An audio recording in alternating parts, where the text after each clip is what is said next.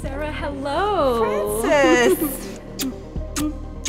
Isn't it nice our kids are going to prom together? Reminds me when you and I went to school. It was nice of Sebastian to invite Alyssa to go along with him. I didn't think she ran in the same circles. She may need a little extra time to get ready.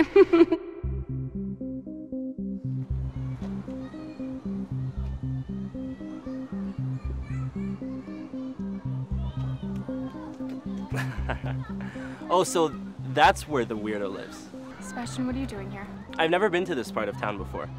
Is that your house? What are you doing? No one will believe how pathetic your house is unless I have proof. What are you even doing here?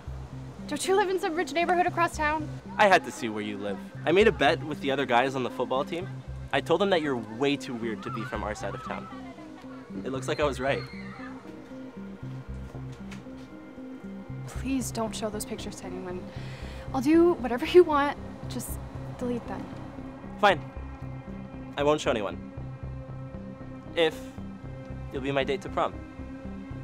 Are you serious? Everyone will think it's hilarious if we show up together.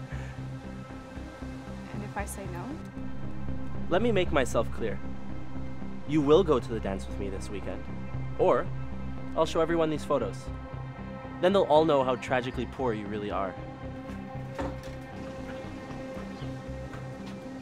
Hello there! Hello, ma'am. I'm Sebastian. Captain of the football team, Sebastian? The very one. Oh, it's not every day we have a visit from such a young, handsome man, is it, Alyssa?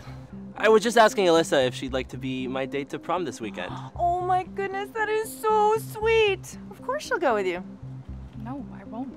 Alyssa, shame on you. You should be more grateful that Sebastian came all the way out here to ask you out. Your first big date's supposed to be exciting. Mom.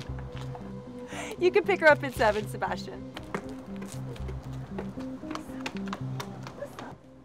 Alyssa, what has gotten into you? You were practically drooling all over him.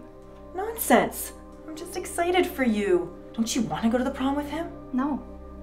He's a total jerk. I'm sure that's not true. He seemed perfectly nice to me. He was taking pictures of our house to show everyone at school just how poor we are. Oh, honey.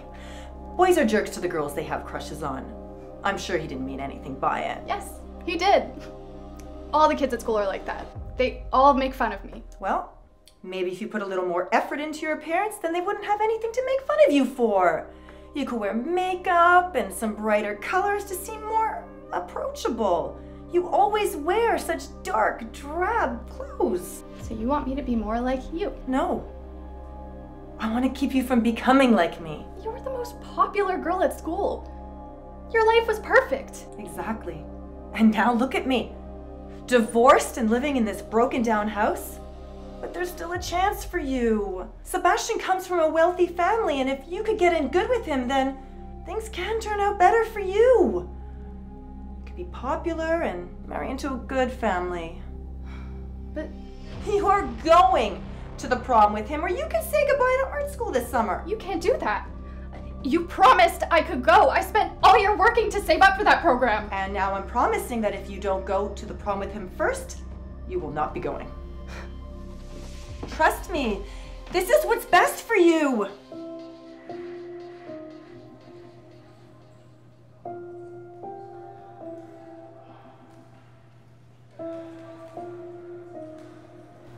Sarah, hello. Francis! Wow, look at you decorating away. Isn't it nice our kids are going to prom together? Reminds me when you and I went to school. well, I do think it was nice of Sebastian to invite Alyssa to go along with him. I didn't think she ran in the same circles. She's broadening her horizons. Like mother, like daughter. Always reaching for things that are out of your league. I was really surprised to find out that you two don't live around here anymore. Sebastian told me that he had to go all the way to the other side of town to get to your house. We moved a few years ago. Oh, well, how's your husband these days? We're not together anymore. Oh no. Oh my, what a shame. What a shame. You two were just so adorable as prom king and queen. It just goes to show you that high school romances never seem to last. but don't worry, your secret is safe with me. I won't tell anyone about your divorce or your move. Thank you. That's so thoughtful. Of course. oh, I also think it would be best if you dropped Alyssa off at our house before the dance. I just really don't feel comfortable with Seb driving in your part of the neighborhood late at night. I'm sure that you understand. Let's say 5 p.m. sharp. She may need a little extra time to get ready. Jody, hello!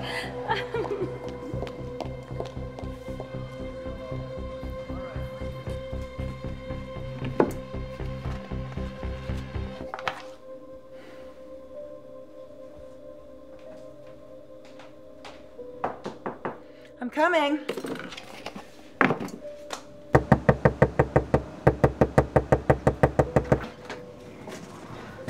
I thought we agreed that you were supposed to drive Alyssa to our house before the prom. I never agreed to anything. Do you have any idea how inconvenient it was for us to drive all the way here? We're late. Everyone is already there. Is Alyssa ready? And why aren't you dressed? You're supposed to be one of the chaperones. Oh, we're not going. Excuse me? I'm not letting my daughter anywhere near your family. May I remind you that my son has pictures of your pathetic house on his phone? We can show everyone in town just how far their old prom queen has fallen. You and your awful son can show those pictures to whoever you want. We might not be wealthy, but at least we don't make others feel badly about themselves. We don't use blackmail to get what we want. Come on, Seb, let's get out of this disgusting part of town before we get robbed. Go, mom. That was amazing. what made you change your mind? The other night, when I was talking to Francesca in the gym, it reminded me just how cruel the popular kids in school can be. And it made me realize I was acting just as badly as they were. I can't believe I tried to force you to go out with that boy. It's really okay. No, it's not okay. Sebastian may have blackmailed you, but I did the same thing by saying I would take your art school away from you this summer. It was selfish. I was just stuck in the past, I guess. Do you think you could ever forgive your imperfect mother? Of course I can.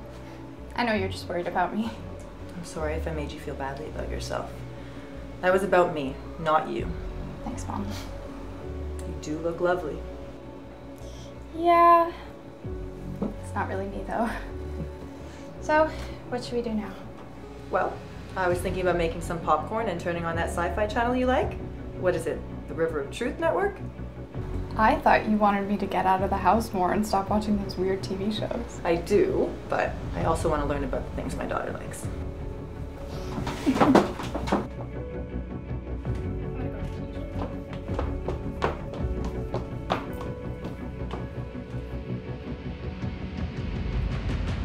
I know it's a tough pill to swallow. Today I caught her in the act. She was about to crush Anna's phone. Crush her phone. Where do you come up with all of these stories?